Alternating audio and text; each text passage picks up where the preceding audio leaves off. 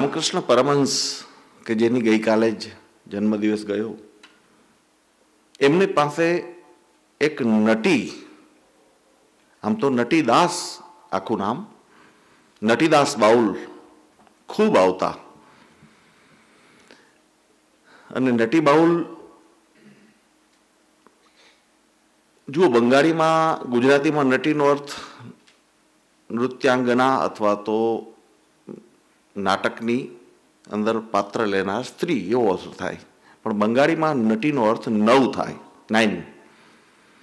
એના ગુરુએ એને એ નામ એટલે આપ્યું હતું, દીક્ષાના અંતે, કે આબી તુમી પૂર્ણ હોલો, હવે તું પૂર્ણ થઈ ગયો છો. અને નવના આંકને પૂર્ણ કહેવામાં આવે છે, તાકી તુમી નટી, એટલે તું નટી છો. તો એને એક શિષ્ય હતો, નટીને. એનું નામ તોળાદાસ તોળાદાસ. હવે તમને થશે કે તોળાદાસ એટલે શું? તોળા એટલે બંગાળી ભાષામાં પગનું જોડું. અને એ એટલો બધો અટનવાળો માણસ હતો અને ગમે એવી સ્થિતિમાં ચાલતો એટલે એના નટીએ એનું નામ તોળાદાસ પાડ્યું હતું. કે તુમી તોળાદાસ ભવે, તમારા તારું એવું કામ છે કે જગતભરના ત્રણેય પ્રકારના કંટકોને તું નિષ્કાસિત કરી દઈશ. એવો તોળાદાસ, એવું પગરખું કે જે આધિ વ્યાધિ ઉપાધિ ત્રણેય કંટકોને નિષ્કાસિત કરી. તોળાદાસ એને પૂછે, નવ વર્ષનો હતો એ છોકરો. કે તમે ત્યાં જાઓ છો રામકૃષ્ણ પાસે, તો રામકૃષ્ણ આપણી મંડળીના છે, આપણા અખાડાના છે અખાડાના છે. તમે ક્યાં ક્યાં કેમ જાઓ છો દરરોજ? તો નવ વર્ષના છોકરાને બીજું શું કહે? એટલે નટીદાસે કીધું કે હું તને ગીત સંભળાવું. એમ કરીને લાલન બાઉલનું એના પરમ ગુરુ થતા એનું એક ગીત સંભળાવ્યું. એ ગીતની અંદર વાત એવી હતી કે મધ્યરાત્રિ થઈ ગઈ છે, ફૂલ ફોટે હે, મતલબ કે ફૂલ તો લાગી ગયા છે, પણ હજી ભમરો આવ્યો નહીં. આ સાધનાનું ફળ પક્વ થઈ ગયું છે, પણ ભ્રમર આવ્યો નહીં. એની વેદના એની અંદર રજૂ કરી છે. નટી, લાલન આની અંદર ભમરાનું કહે છે. તે જોયું? એટલે કે, હા, ગુરુદેવ, મેં તો ઘણી વાર સાંભળ્યું છે, વાંચ્યું છે, જોયું છે. એટલે હું તો જાણું છું. તો કે, ભમરાનું કીધું, મધમાખીનું કેમ ન કીધું? મધમાખી દરેક જગ્યાએ એક એક જપ તપ ધ્યાન, ધારણા, સમાધિ દરેક ચીજ ઉપર યોગ કરે, બધું કરે. અને બધી જગ્યાએથી ફૂલ ચૂંટી, રસ ચૂંટી અને મધપૂડો બનાવે. એનું કામ મધ લેવાનું જ છે. ભક્તનું કામ શું હોય? એબસ્ટ્રેક્ટ અંદરથી રહેલા મધને ચૂસવાનું. તો મધમાખી એમ કહે છે, મધુમાખા બંગાળીમાં. એનું કેમ ન કીધું? અને ભ્રમરનું કીધું? ભ્રમરો એ જ કરે છે. શું કારણ? ભમરામાં બે ગુણ અને મધમાખીમાં બે ગુણ કયા કયા?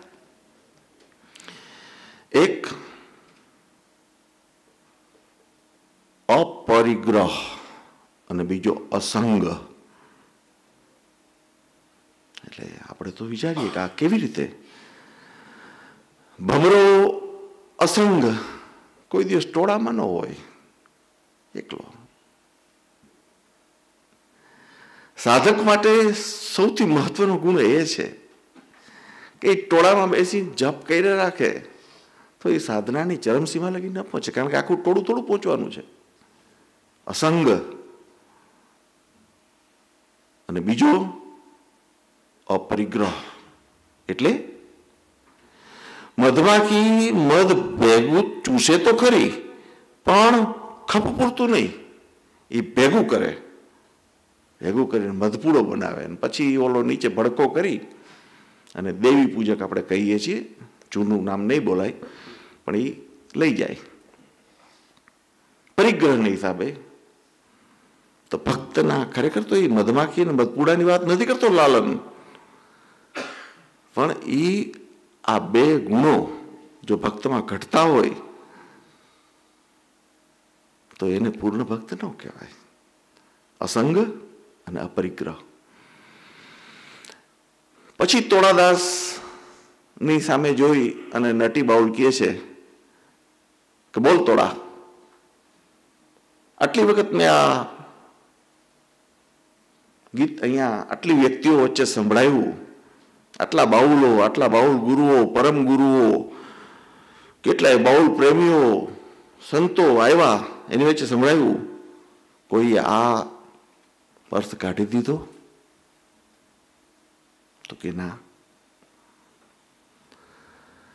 એટલે હું રામકૃષ્ણ દેવ પાસે જાઉં છું કે આમાર બાની પવિત્ર હોલો. મારી વાણી છે એ પવિત્ર થાય છે. અને એ જ નટીનો ભાવ લઈને હું અહીંયા મારી વાતને રજૂ કરું છું. કે આમાર બાની પવિત્ર હોલો. આવા સંતોની પાસે, આવા વિદ્વાનોની પાસે જ્યારે હું વાત કરીશ, ત્યારે મારી વાણીને હું પવિત્ર કરવાની ચેષ્ટા કરું છું. આ બાઉલ કે જેણે જે તત્વ આપ્યું છે, જે તત્વની ચર્ચા કરી છે, એ તત્વની ચર્ચા બીજે કશે નથી થઈ. એવી તત્વની ચર્ચા કરી છે. શું ચર્ચા કરી છે? ન ધર્મની કોઈ આડ ન પહેરવેશની આડ ન પોશાક ન મંદિર ન મસ્જિદ ન જાત્રા કોઈ ચીજ નહીં સાબાર ઉપર માનુષ ચંડીદાસે કહ્યું સૌથી ઉપર મનુષ્ય તત્વ એનાથી ઉપર કંઈ નહીં